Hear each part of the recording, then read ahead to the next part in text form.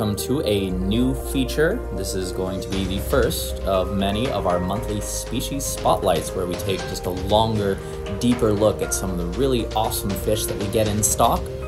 Uh, it's going to be something we're going to continue going just for education and to show off some really nice new fish. For our first installment, we're going to feature a great little fish, the glowlight danio, Danio choprae.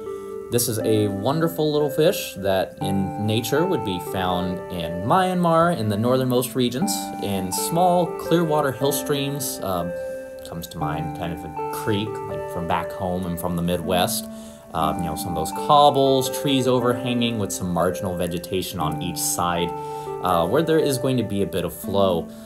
Fish that at least we here at the Wet Spot are nice and familiar with, that we get in from the same region, maybe not the exact same spot, but same areas, are going to be Badis kyar, Dario uh, the little paradox toothpick fish, Indostomus crocodilus, uh, spotted sangaras, black spotted daniels, a lot of fish used to a bit more flow on their environment.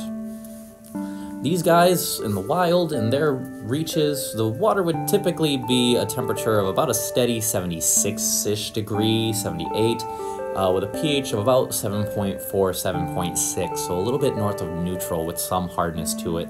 In captivity, fortunately, I found them to be pretty adaptable. Um, they can tolerate a wide range of parameters, and here they're doing something interesting, swimming into the flow of that filter. Uh, kind of a side tidbit, fish bioenergetics wise, sometimes animals will use a bit more energy to swim into the flow of the water, using a bit more energy, but also gambling that there's going to be a lot more food flowing their way. In captivity, I found that these guys do well with temperatures somewhere between 65 and 80 degrees Fahrenheit, uh, so long as it's stable, and a pH somewhere between 6.0 and 8.2. I've kept them in very, very hard water before with great luck, uh, no issues with them, beautiful color. They just didn't spawn for me, so I would try to keep it a little softer than that if you're trying to get eggs out of them. This is a very, very pretty little fish. Uh, you can see on some of these in the background. Females have kind of a silvery white belly, but still have that beautiful orange glow and the greenish blue stripes whereas males have more of that orangey red to the belly and are just a little slimmer in profile. They'll reach about 25 to 30 millimeters in length, uh, non-metric speaking, that's about an inch, inch and some change, maybe inch and a quarter on a big female. Uh, so not too large, definitely more of a nano fish. Uh, I would say I'd keep at least a group of 10 to 12 of these guys and a tank maybe as small as a 10 gallon, although a little bit more space is always going to be helpful to show off a bit more natural behavior, uh, like this nice swarm here. We've had a lot of luck feeding them almost any food possible. I mean, anything that hits the top of the water. Flakes, granules, uh, high quality frozen food, a nice rotation is always good for these little kind of mini carnivores. Uh, and in nature, a lot of the time, what they would eat is things that flow to them or insect larvae that would hit the surface of the water, be you know crawling around on some of those cobbles I mentioned earlier. As I mentioned, these are a shoaling species. Uh, they would prefer to be kept in groups of at least 8 to 10. I believe in my 10 gallon, if I'm remembering rightly, I had about 15 of these guys years ago.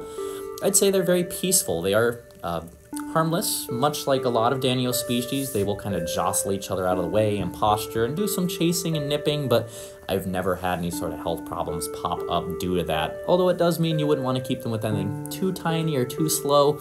You know, maybe micro rasboras wouldn't be a great fit, just to make sure everybody can get fed. But they're a wonderful, beautiful little fish that, as you can see, are totally fine alongside other small fish like these ember tetras and neons we also have in this display.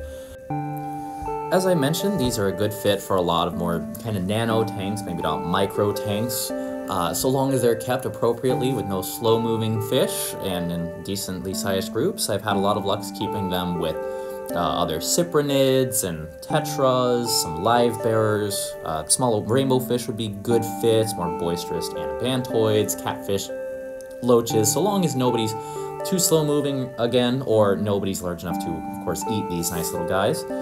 Uh, I did mention there being sexual dimorphism. These fish seem to be fairly easy to breed. Uh, they are egg scatterers that practice no parental care. So what you would want to do is, of course, condition them nicely and then Uh, if you have a separate tank, place them in there with plenty of moss or of soft fibrous materials to try to get them to scatter their eggs so they can't eat them, and then hatch the fry from there. Uh, I know many people have mentioned having babies pop up even in tanks with adults. To get a bit scientific, these fish were first described by Sundar Lal Hora in 1928, who named the species after Dr. B.N. Chopra, who collected the original specimens.